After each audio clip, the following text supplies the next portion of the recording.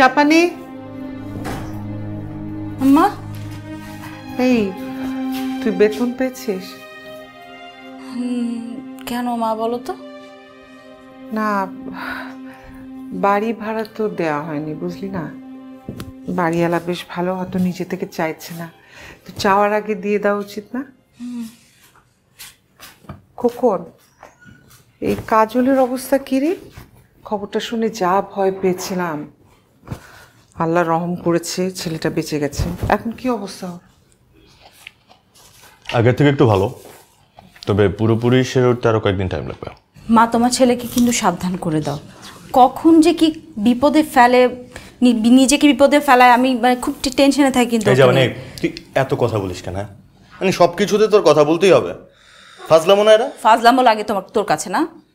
তোর কাছে এগুলো কেন ফাজলামো লাগবে? বাড়ি পর্যন্ত যদি কোনো ঝামেলা আসছে খোকন এই মুহূর্তে একদম চড়িয়ে কিন্তু দাঁতগুলো ফেলে দিব। এই কি শুরু করলি তোরা? হ্যাঁ? তোদের কি বয়স বাড়ছে না কমছে? আশ্চর্য। এমনি আমাদের এখন সময় ভালো না। দিন আনি দিন খাই। জব্বার ভাই যদি বাসা খুঁজে না দিত রাস্তায় থাকতে হতো। তোর বাবার শরীরটা ভালো না। সারাটা রাত লোকটা জেগে থাকে আর পায়চারি করে। আব্বার কি হয়েছে মা? কি হবে? বয়স হচ্ছে না। আশ্চর্য। তারপর সাংসারিক এই দুশ্চিন্তা। আর শোন খোকন এখন একটু সংসারের দিকে মন দে। কিছুদিন পর জাপানের বিয়ে দিতে হবে। তখন তুই তো একমাত্র ভরসা। মা কিসের মধ্যে কি কথা বলো বলো তো? মানে বিয়ে শাদী এখন কেন হবে? মানে আমি আমার অনেক কাজ করা বাকি আছে। আর আমি তোমাদের ছেড়ে কোথাও যাচ্ছি না। আচ্ছা যাস না। খোকন যা ফ্রেশ হয়ে আয়। তোর বাবার আসার সময় হয়ে গেল। এইটা ভাজ করতো হ্যাঁ আমি আমি টেবিলে খাবার লাগে দাঁড়া চশমাটা কই?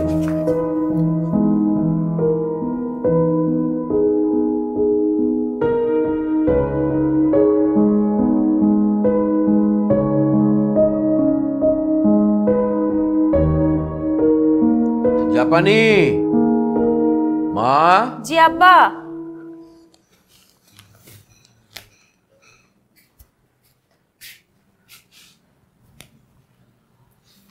কি রে মা? তোর দিনকাল কেমন কাটছে? এই তো আব্বা ভালো। যাচ্ছে আর কি। টিউশনি খুঁজতে খুঁজতে আর চাকরি খুঁজতে খুঁজতে সময় চলে যাচ্ছে। কিন্তু কোথাও কিছু হচ্ছে না। হবে হবে হবে। কেন হবে না? আরে এটাই তো সময়। এই সময়ে নানান জায়গায় ঘোরাঘুরি করতে হয় চাকরির ইন্টারভিউ দিতে হয়। দেখিসনি? ইমতিয়াজ কত কত ইন্টারভিউ দিয়েছে। যেখানে সুযোগ পেয়েছে সেখানে ইন্টারভিউ দিয়েছে। আর এখন দেখ।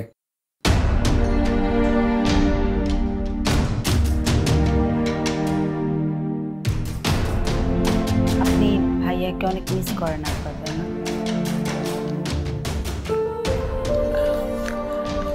না অনেক বেশি না, ওই, মাঝে মাঝে হ্যাঁ একটু তো মনে পড়েই। ওই মুখ ফসকে ইমতিয়াজের কথা বেরিয়ে যায়।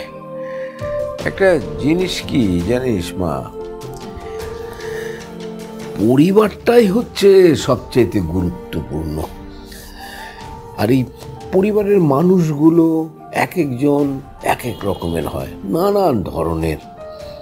সেখানে বিচ্ছেদটা ভালো না। সময় নেওয়া যেতে পারে নিজেদের আত্মপরলব্ধির জন্যে, কিন্তু থাক, বাদ দেন। ভাইয়া যদি ইচ্ছা থাকতো, ভাইয়া এসে আমাদের খোঁজ নিত। ভাইয়া চাইলেই সময় করে একটু আপনাদের দেখে যেতে পারে। দূর থেকে খেয়াল রাখতে পারে। যারা বিদেশ থাকে তারা কি বাবা মায়ের খোঁজ খবর রাখে না? দূর থেকে খেয়াল রাখে না? ইচ্ছা থাকলেই উপায় হয়।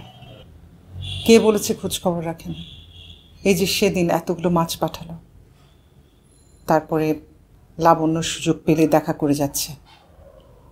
এটা খোঁজ খবর নেয়া না? মা নিজ থেকে এসে দেখে যাওয়া আর কাউকে দিয়ে পাঠানো কি একই জিনিস হলো? এটা তফাৎ কি তুমি বোঝো না। ভাইয়া কি এতটাই ব্যস্ত যে নিজে এসে একটাবার তোমাদেরকে দেখতে পারছে না? থাক, আমি আর কথা না বলি। আমি বেশি কিছু বললে তো আবার মনে হবে তোমার ছেলের বিপক্ষে কথা বলছি।